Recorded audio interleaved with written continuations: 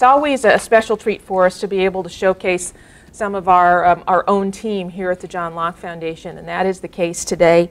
Delighted to be able to hear from our own Jon Sanders, who is Director of Regulatory Studies. If you read Jon's work at carolinajournal.com or johnlocke.org, you know that he is an expert in many areas of, of regulation. Um, he has come to become he has come to be an expert on the issue of occupational licensing. In fact, he's been invited, I believe, was by the state of Kansas, invited him to come and testify before their version of um, our General Assembly about Kansas and how they do things there.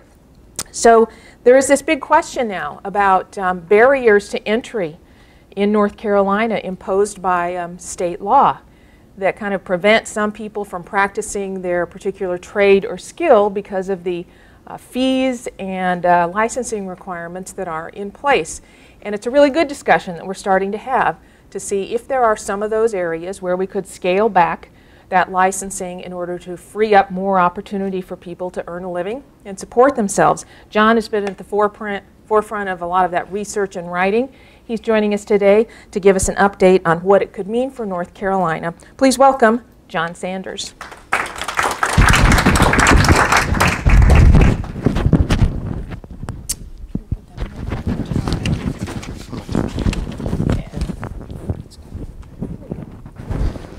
Okay, let's see if I've got this set up. All right, I can hear me, so I assume y'all can.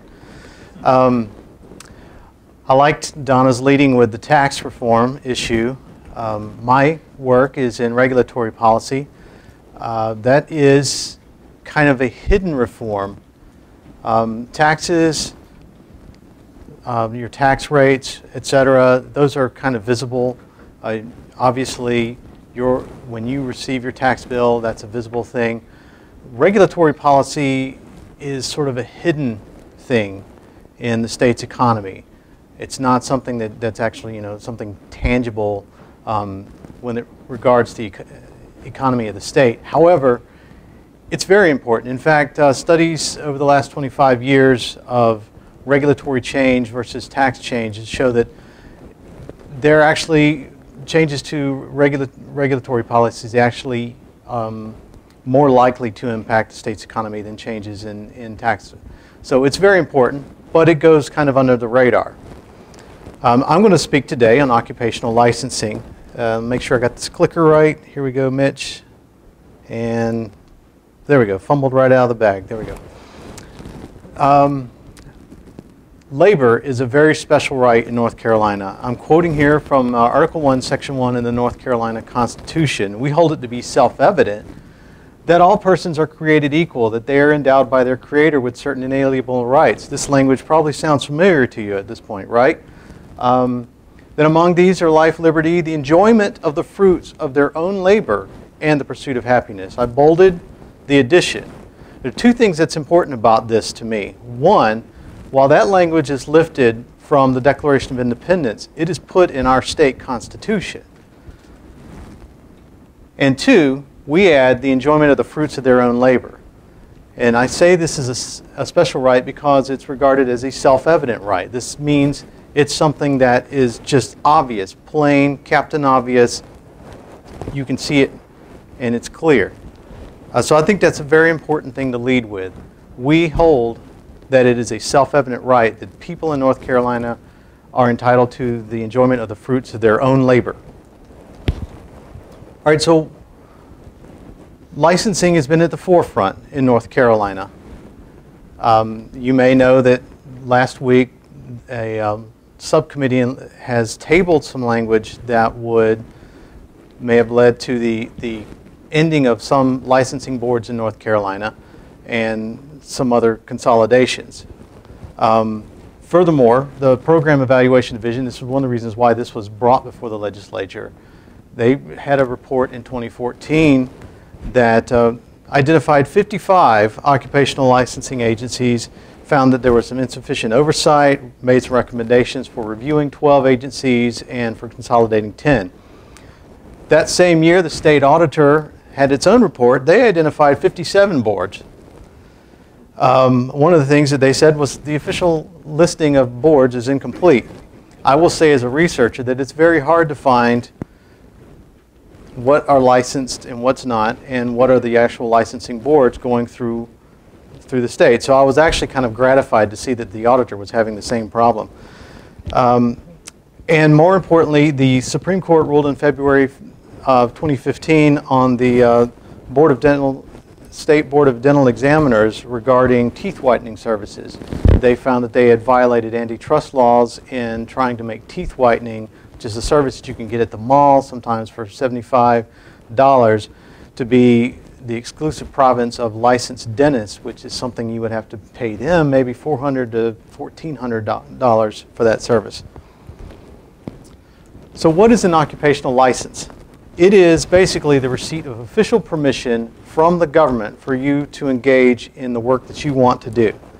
And it's costly in several ways.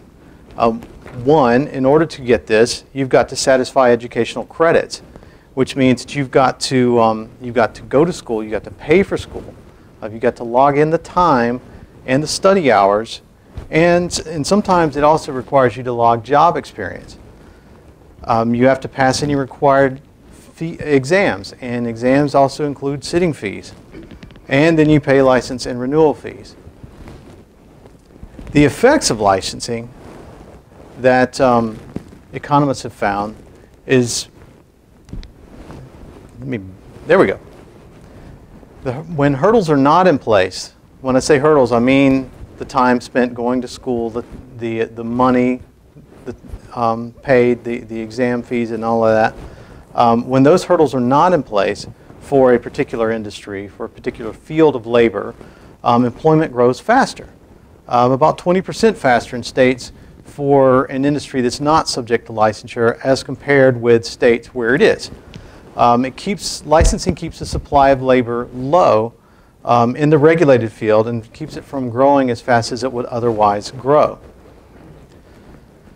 These burdens that I mentioned are especially harmful. Man, I'm terrible at this, Mitch. There we go. I think I have to hold the button down a little bit harder. Are especially burdensome on the poor, as one would expect.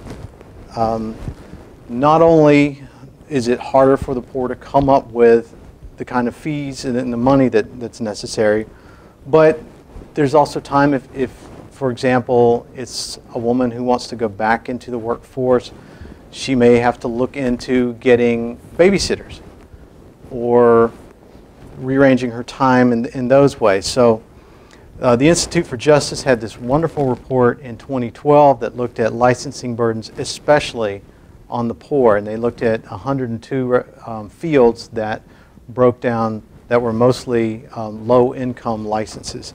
So as they say, it's especially burden for low income workers. And it's not just for poor individuals, but there's also people who decide to go back to work later in life, or maybe they've been laid off and decide they're going to go choose a different profession. Um, they, these are hurdles that, that are placed before them.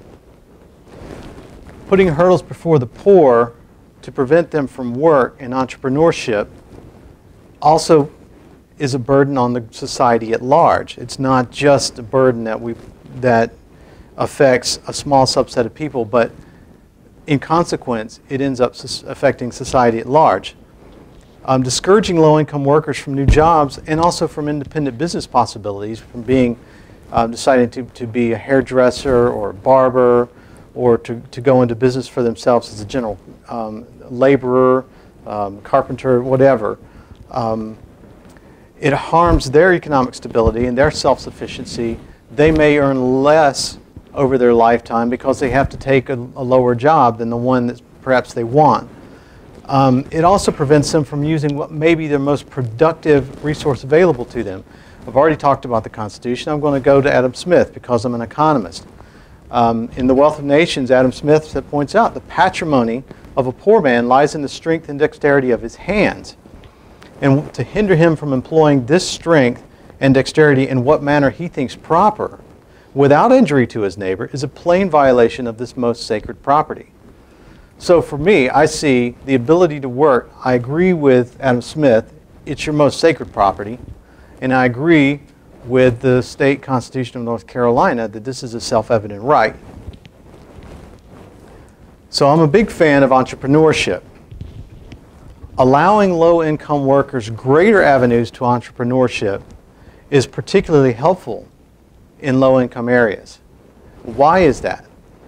It's not only that it offers individuals a ladder out of poverty through their own work, but in poor communities, there usually aren't those other those other things, the, the um, you know, the, the other jobs, the availability of other entrepreneurs coming in. So, um, as the Fed Reserve, this Federal Reserve economist Kelly Edmiston points out, entrepreneurship in low-income areas may yield a double dividend.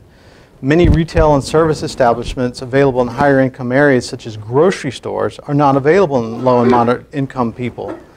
And they also face transportational challenges. So bringing in more entrepreneurship possibilities, allowing uh, job creation to take place in lower income areas, which is stymied through, through licensing, can provide income and some of these other activities to, to accrue, these goods and services to accrue to the low income areas. The issue with licensing, as most people see it, is safety and quality. Uh, that's normally the, uh, the reason for a new license to be established is the state needs to get involved because we have concerns about consumer safety and quality of service provided. However, when academic researchers look into it, the most consistent finding they have is that it boosts the earnings of those who are in the regulated field. The findings regarding safety and quality are pretty mixed and actually not very um, conducive to the idea that licensing helps with safety and quality. I'll get back to that in a little bit, why that is. However, the most generally held view on economics is that it boosts, uh, it restricts the supply of labor, and those who know Econ 101 will know what that means. And so it therefore drives up the price of labor as well as the price of services rendered, which means that another effect is that it's raising the cost on people to engage in, to, to purchase these services. This leads to what economists call, who study this, call the earnings premium um, of licensing for service providers. If you are in a licensed activity, you generally earn 15% or more lifetime uh, than you would have if the activity was not licensed um, than what you normally would have if you were facing an open field of competition. The more lucrative the field is, the generally the, uh, the higher percentage-wise the earnings premium is. So this has consequences for jobs and for consumers. Um, restricting the supply of labor restricts the supply of, it also results in fewer jobs. Um, according to the Obama administration's white paper that came out last year, and it's a very good paper, um, believe it or not, uh, they, uh, they did a very good job on this. Um, they, have, they have some good economists who have been working in this field that came into the administration. So uh, this is, um, I think it's a, a very important paper. Uh, but they pointed out licensing restrictions by one estimation cost millions of jobs nationwide and raised consumer expenses by over $100 billion. That's pretty significant. And those have significant effects on the economy. And this is nationally, not in our state economy. Why doesn't licensing have a big effect on safety and quality? Shouldn't it? Well, one reason is the difference between how economists and how state policymakers measure safety and quality. It well could be that licensing raises the quality of service provided by licensed professionals. But there's still some questions about that depending on the kind of standards that the boards input. However, the level of service received is where the difference lies. If you raise the prices, as an economist could tell you, that people are going to seek alternatives people seek service alternatives when licensing raises prices on them. Those could be just deciding not to do the necessary work. uh, which means you're taking on a greater risk. And you could have a risk of failure if you haven't done, it depends on the kind of work. Um, doing it yourself. So I'm thinking about maybe home repairs, for example, going and doing things, doing your own electricity, for example. Uh, maybe you do a good job of that. Maybe you really screw it up. Um, having a friend or family member do it. Paying for work under the table. Finding a fly-by-night provider. Um, I know I did this when I was um, not long after we moved into a house. There was a guy coming by deciding, paving driveways, and we wanted our driveway paved. And we had our driveway paved. It wasn't until later we realized the, the kind of shortcuts that he took, including not spraying weeds. We had weeds growing up in the middle of our driveway that we had to take care of. Learn things the hard way. Um, and get taken by a scam provider. These are all alternatives that people will take uh, when they don't want to pay the price of the service because it's been artificially raised by licensure. So revisiting the issue of safety and quality. So that's the difference between stated outcome measures and actual outcome measures. So this is why research literature on licensing is inconclusive and also not very favorable. Um, counterintuitive findings are include, for example, electricity. Um, there are greater electrocution rates in states that have stricter licensing laws for electricity. That would seem counterintuitive, except for the fact that you have to also realize the higher prices for the limited supply of electricians leads to people choosing non-electricians. Um, higher rates of blindness in states with tougher optometry licensing laws. Um, greater rates of poor dental hygiene, determining um, with states with stricter dental licensing laws. There was some um, research from the 80s that found a greater risk of rabies on, on state, in states where restrictions on veterinarians made it so that there were fewer people who were able to detect rabies outbreaks. Now, how are we in North Carolina? North Carolina is more restrictive than most states, especially in the region, with regards to occupational licensing. So we license more than most states, and especially we license about three times more than the state of South Carolina. Um, I list several different reports. Summers was from Reason, um, found North Carolina to be tied for the 12th most restrictive state. Um, uh, was reporting for Goldwater, and uh, he, he had us tied for 15th most restrictive. Reason being, it's very difficult to to compare states across states because of the way that they do individual licenses. Some states, for example, will have a general um, construction worker license. Some states will divide it up into different aspects of construction, drywall, um, carpentry, masonry. So it, it's hard for researchers to com make comparisons across states because of differences like that. And so there will be these kind of you know, if you look at it, why is it different? Um, Career One Stop, which is the government um, system, has us with an unadjusted count, um, 30th. Uh, Mercatus has us 39th most free, which means we're 11th least. Um, and the Institute for Justice has us tied for 17th most restrictive of licensing of, lic of occupations for primarily lower income workers. And in the White House report I mentioned earlier, 22% uh, of North Carolina's workforce is licensed by the state, which is 22nd highest. So it's about middle of the pack there. The Institute for Justice report that I mentioned found that six out of the 48 lower income occupations that North Carolina licenses are licensed in fewer than half of U.S. states. Landscape contractor, only 10 states in the nation license that optician 22 states, sign language interpreter 16 states, crane operator 18 states, locksmith only 13 states, weighers 24 states. How we compare with our neighbors. Uh, you can see South Carolina at the bottom. At, at the bottom. This is a Schlomock's report. Um, has it at 49, whereas North Carolina is at 154. Um, we're less than Tennessee, so uh, take that for what it's worth. Uh, as far as lower income occupations, we're about middle of the pack. So I suppose that's not too bad. North Carolina's history in licensing. Um, I thought this was interesting in Milton Friedman's book, Capitalism and Freedom, his chapter on occupation and licensing. He highlighted some special research that said as long ago as 1938, a single state, North Carolina, had extended its law to 60 occupations. So even then, we were already licensing 60 occupations. Licensing has grown tremendously in North Carolina. I have uh, the number of licensing boards, which is different from licensing um, professions.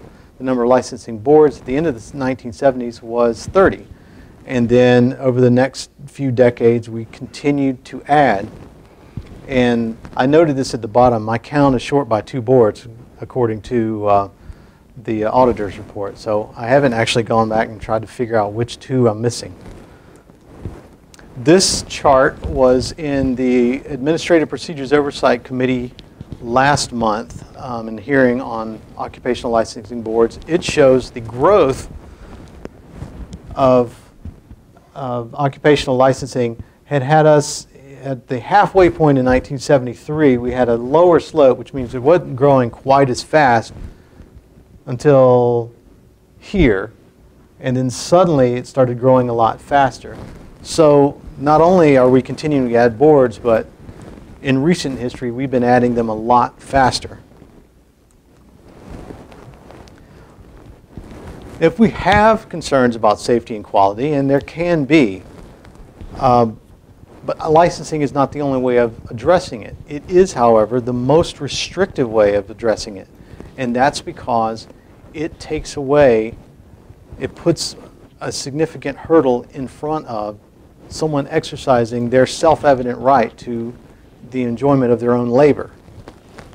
So licensing is a denial of individuals' legal opportunity to work. And it's done there, uh, this is from the PED report. It's most often used when there's a significant risk of harm to the public. How do we define what's significant? There's a great difference. Ooh, something happened without. that. Slide's messed up, sorry. Um, what that slide is supposed to say is that there's a significant difference in the states among um, what's licensed. Uh, basically, all the professions that are licensed in at least one of the 50 states, there are over 1,100 different professions. However, only about 60 or less than 6% are licensed in all of them, which means that there is a significant disagreement among the 50 states as to what rises to the level of dangerous and significant and needing state licensure. Um, similarly, of the 102 lower income occupations identified by the Institute of Justice, only 15 are licensed in 40 states or more. Again, significant difference. This is why I like to pr promote voluntary certification over licensing.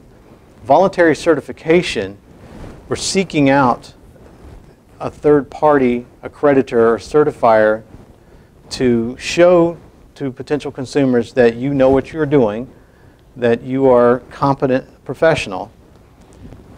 I like that as opposed to having to go to the state and jump through all the state hurdles as a way of entering your profession.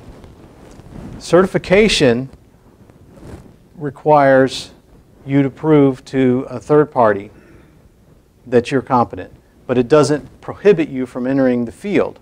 It prohibits you from claiming a certification. That would be fraudulent practice if you were to claim a certification, and it would be actionable by the state.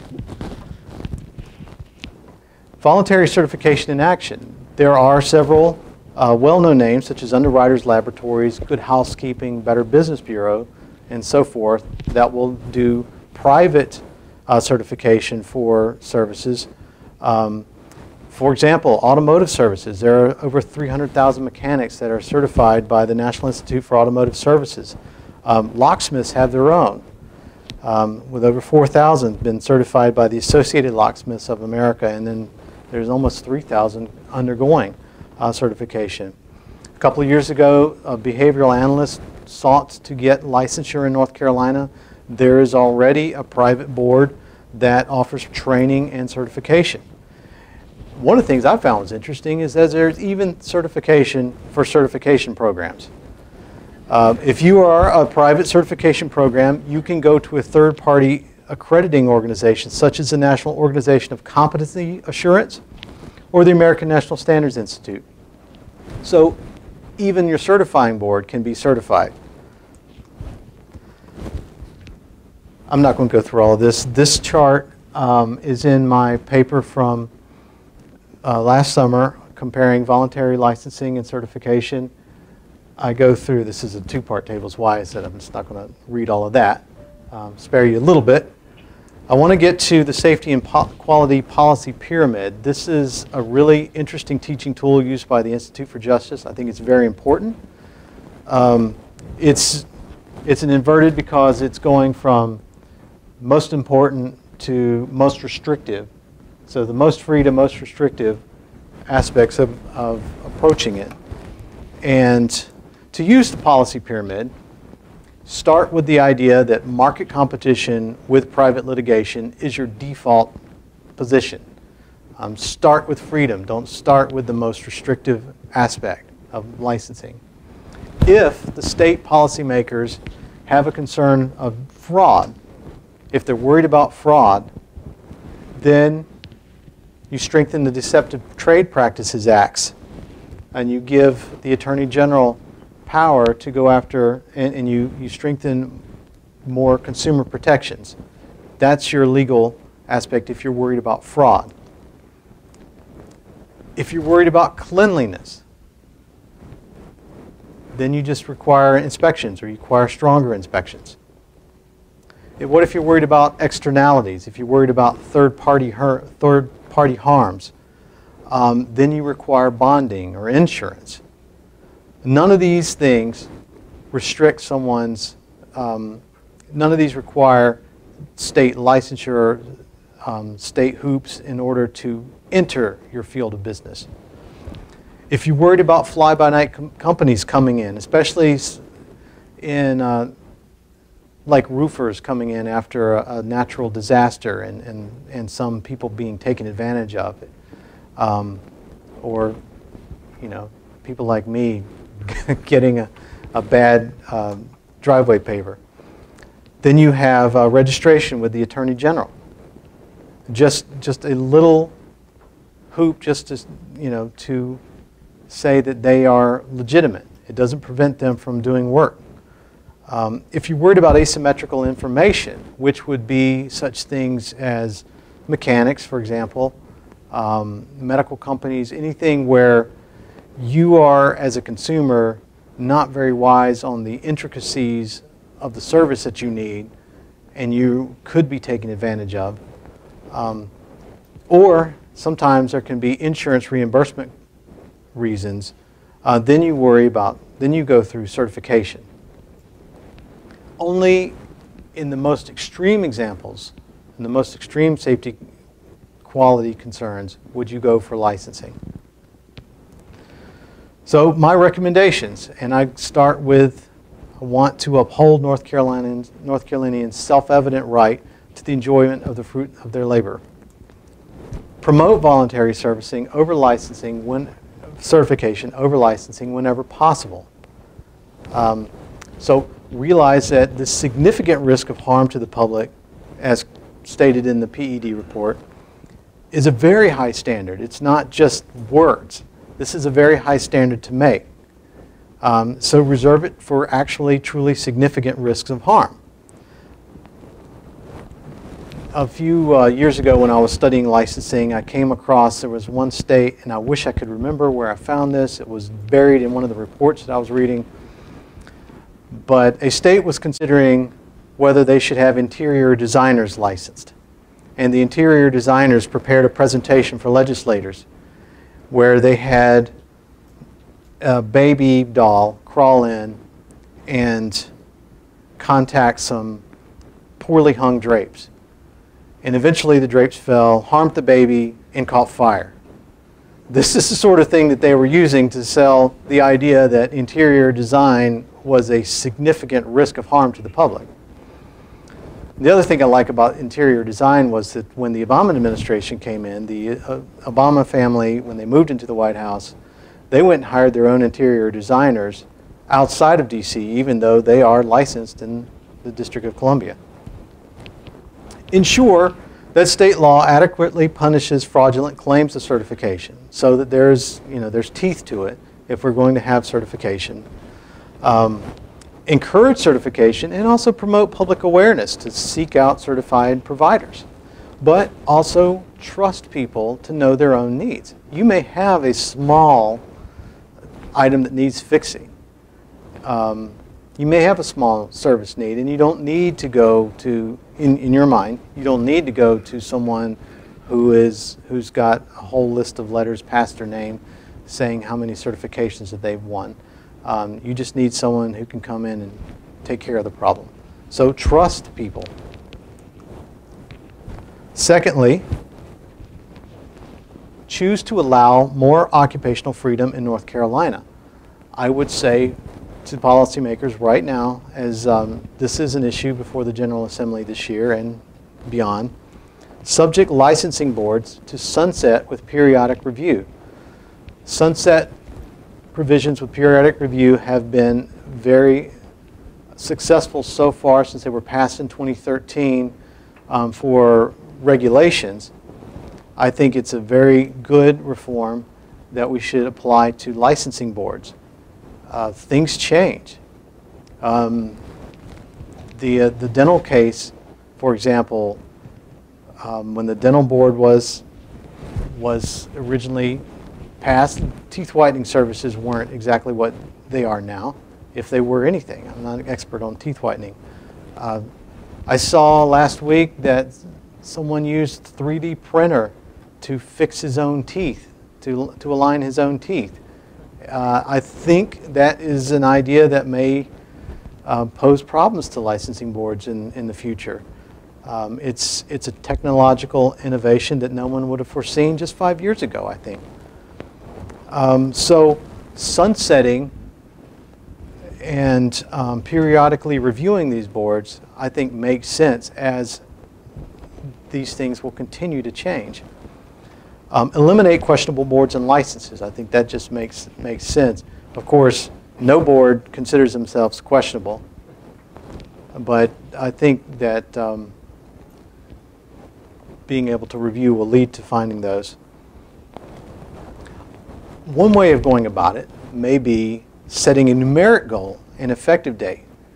And I put up two suggestions. So, for example, by 2021, have the same number of licensed occupations as South Carolina, which is the most free state in our region. Or move one third of licensed occupations by certification by 2020.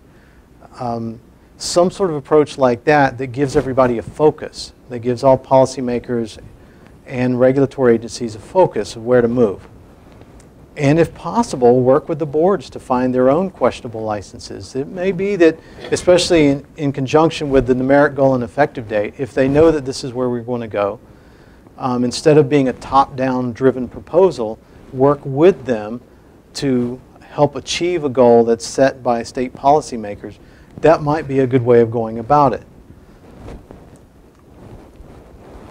After the sunset provisions, apply strong sunrise provisions against proposed new boards. Actually, not afterwards, I would say in conjunction with, or even in lieu of.